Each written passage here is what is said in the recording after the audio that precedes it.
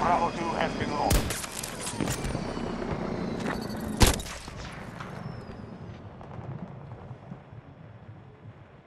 Bravo 2 has been taken by hostiles.